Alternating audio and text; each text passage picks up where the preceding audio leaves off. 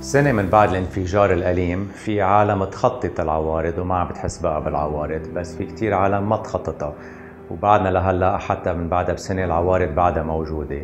والعوارض هو إنه واحد بيكون حاسس بتوتر حاسس إنه على أعصابه كل الوقت حاسس بخوف حاسس بقلة نوم حاسس بكوابيس بالليل حاسس بقلة تركيز.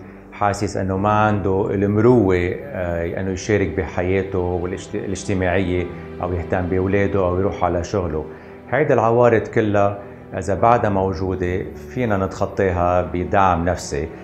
من أهم العواميد لنقدر نكمل ونرتاح نفسيا هي إنه نهتم كثير بصحتنا من اتجاه النوم بالنسبة للنوم وال nutritious food ونهتم انه يكون عندنا support system حوالينا بيساعدنا بظروف صعبة.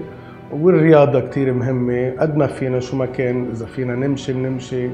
إذا فينا نسبح. آه، ما كتير ضروري الواحد يحط effort to join a يعني في يعملها على بطريقة عفوية. ومن أهم الأشياء كمان نفهم شو صار معنا.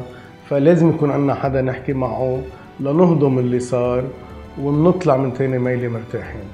والسنة منه وقت كافي ابدا إنه الواحد يتخطاها منه لحاله. فبليز الدعم النفسي أساسي ومتوفر للجميع.